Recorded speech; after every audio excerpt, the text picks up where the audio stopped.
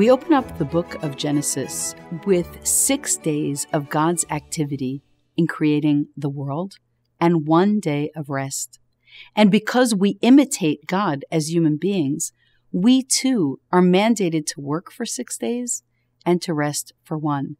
Sheshet yamim taseh melachtecha. For six days you shall work. Naturally, the rabbis thought a lot about the nature of work as a result. And in Pirkei Avot, we have statements throughout Ethics of the Fathers about the kind of work that is most worthwhile. Of course, work has changed since those days. We've begun to question the nature of work. In her 2021 book, Work Won't Love You Back How Devotion to Our Jobs Keeps Us Exploited, Exhausted, and Alone, Sarah Jaffe writes that our identities are too tied into our work. So much so that this romantic love with our career trajectories often leaves us feeling unsatisfied and disappointed. Our identities are so tied into work, but post COVID, we've come to ask ourselves very important questions about the value of office life, about the pain of commuting, the change in in person interactions, and collegiality in general. It's no surprise then that the rabbis in Pirkei Avot wanted to understand what the nature of work was and how to do work well so that we can imitate God. We begin our chapter with a fundamental question asked by Rabbi Yehuda Hanassi, Rabbi Judah the Prince. Ezo hi derech yishara sheyivor lo ha'adam. What is the right path that a person should select?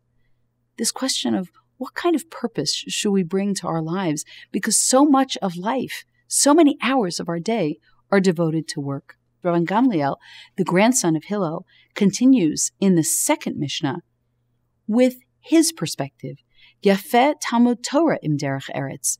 As we occupy the world and contribute to it, it's good to balance whatever work we do with study of Torah.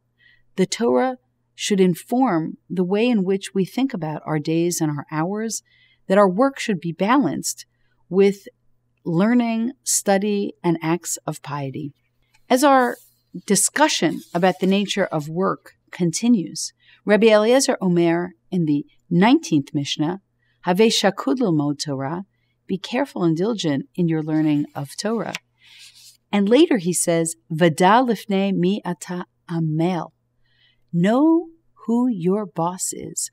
Know before whom you toil. I often give advice to students and to my own children that when you think about taking a job, an internship, an assignment, know who your supervisor is, know who you report to, because that's in many ways more important than your job description. Working for the right person can help grow you. Working for the wrong person can help shrink you. Rabbi Eliezer says, in the ultimate sense, Da lifnei mi ata amel. Know who your boss is. That's central to thinking about work and purpose. The Mishnah continues with Kaf, with Mishnah 20 in our chapter, chapter 2. Rabbi Tarfon says, Hayom katsar, the day is short. V'malacha muruba, the work is great. Hapoalim atzelim, the workers, unfortunately, are lazy. Vaschar harbe, the reward is immense. Uval habayit dochek.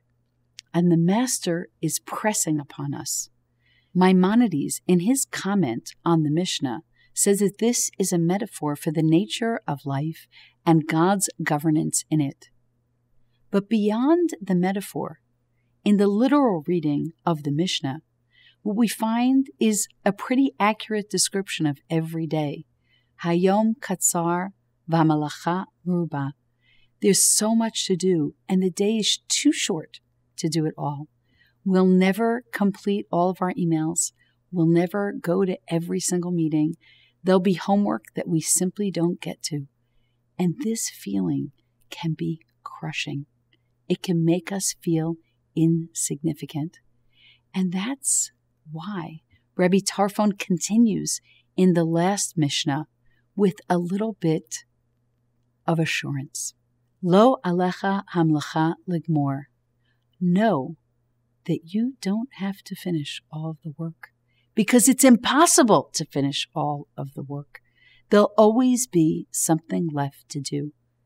There's a book we haven't read or haven't yet written. There'll be an unfinished symphony. There'll be a relationship where we can't tie all of the pieces together. Lo alecha hamlacha ligmor. When it comes to the world of work and contribution, we will never finish. And because that feeling can be so difficult to navigate, Rabbi Tarfon continues and says, Don't think that simply because you can't get it done, that it's not worth starting. Lo ata ben chorim libatel mimena.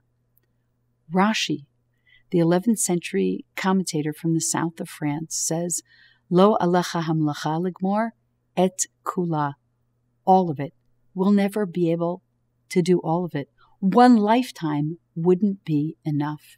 Rabbi Tarfon reminds us before we feel the weight of all that we will not accomplish, that we can't finish it all, and that sometimes our contribution is enough, and we are enough.